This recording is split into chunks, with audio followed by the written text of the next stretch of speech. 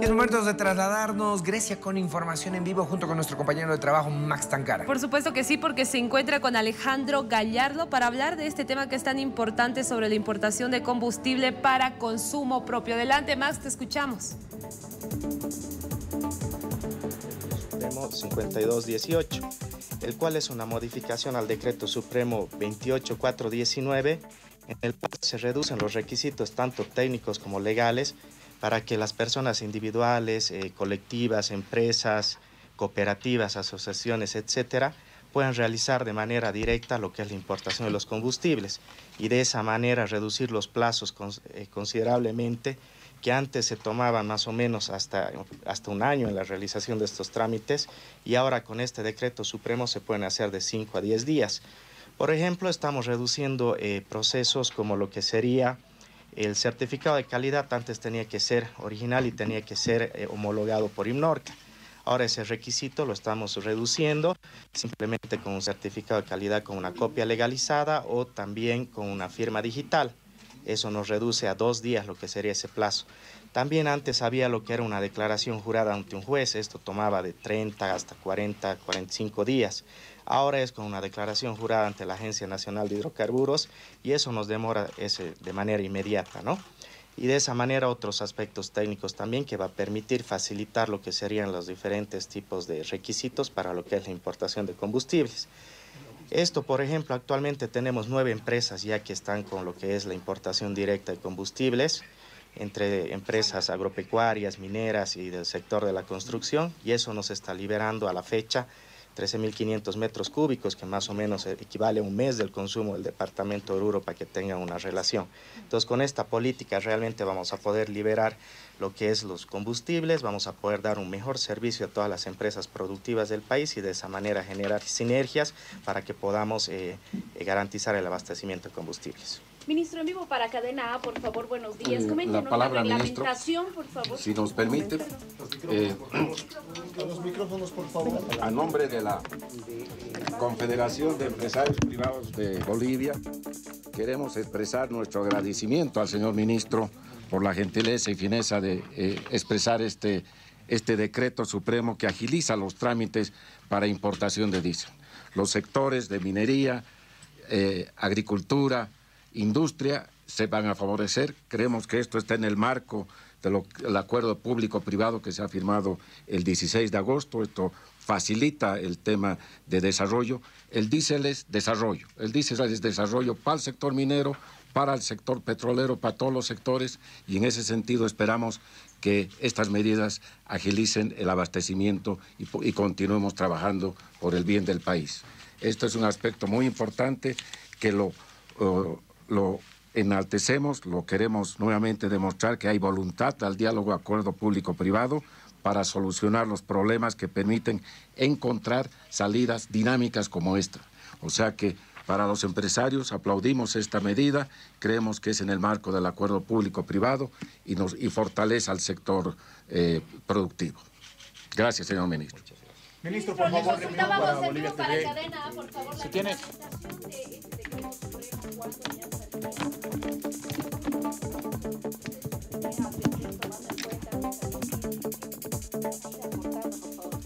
Bueno, eh, desde la reunión que tuvimos el 18 de agosto ya hay eh, más de 40 solicitudes de empresas a YPFB con la no objeción. Eso ya está siguiendo su curso a través de la Agencia Nacional de Hidrocarburos y también de la Dirección de Sustancias Controladas. Y bueno, en el, en el marco de la coordinación que existe entre todas estas instituciones para agilizar los plazos, también se cuenta con personal especializado que está disponible las 24 horas para agilizar este tipo y responder todo tipo de consultas, ¿no?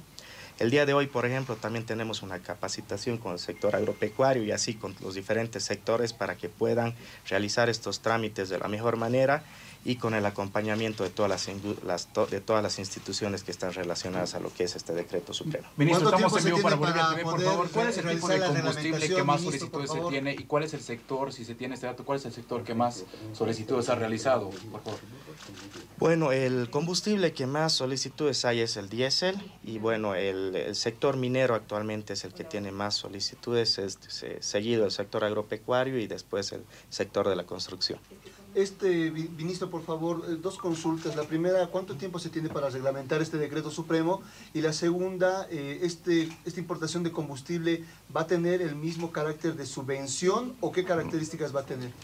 Este decreto supremo es para que diferentes personas individuales, empresas, cooperativas, asociaciones, etcétera, puedan realizar la importación directa. Eso equivale a que ellos tienen que hacer el trámite de la importación con sus recursos propios a un precio de mercado internacional y nosotros estamos autorizando esa importación y obviamente facilitando todos los requisitos para que lo puedan hacer a la brevedad posible.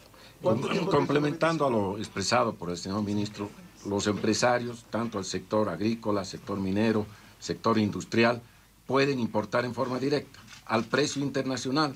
No va a tener ningún problema en el tema del desarrollo correspondiente, no hay un gasto para el, para, para el Estado, sino van a pagar el precio internacional.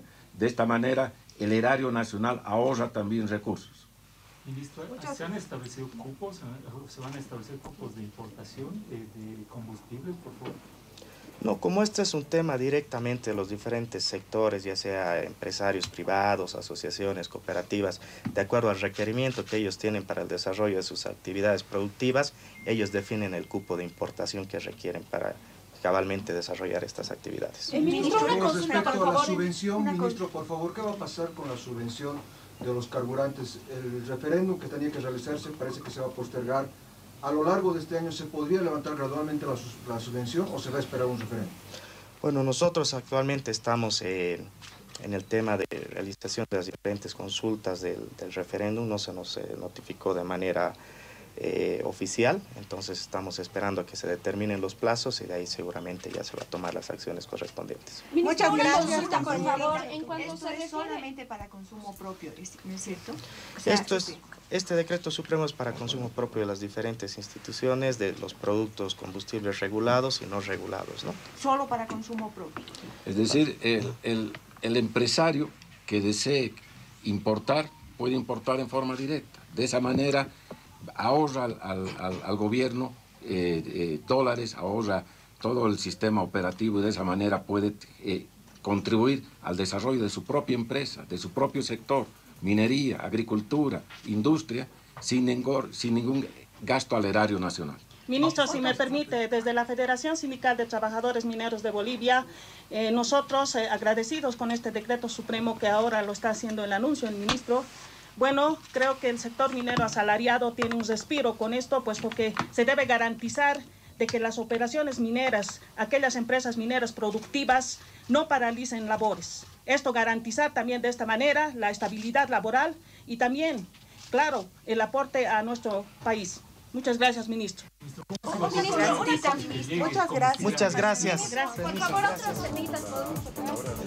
teníamos las palabras, bueno, sobre el decreto supremo 5218 sobre agilizar los trámites para la compra de combustible.